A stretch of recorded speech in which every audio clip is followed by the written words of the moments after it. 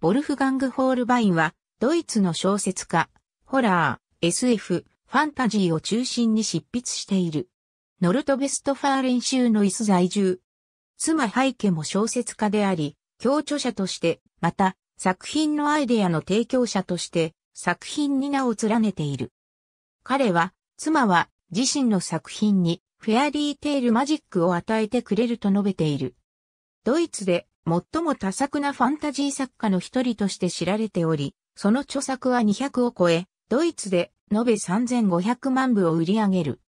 作品の多くが様々な言語に翻訳されているが、長年インディ・ジョーンズの作品を除いては英語には翻訳されていなかった。しかし2006年ついにメルヘンムーンが英訳され、アメリカで出版された。